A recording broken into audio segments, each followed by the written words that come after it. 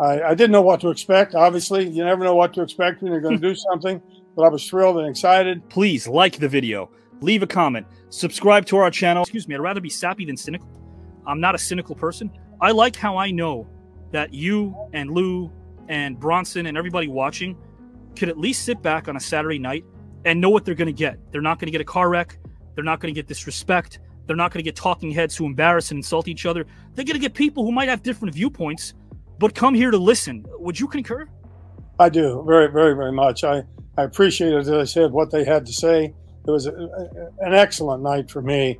I, I, didn't know what to expect. Obviously, you never know what to expect when you're going to do something, but I was thrilled and excited. Um, I, I really, I, I, think that more than anything else, uh, you know, it was enlightening to me to have some people say the things they said. And what Bronson said about me was really touched my heart. Thank you so much, guys and gals and pals, for enjoying this video and watching it.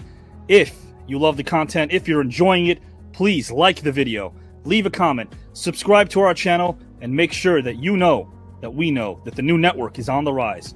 Thank you for being who you are.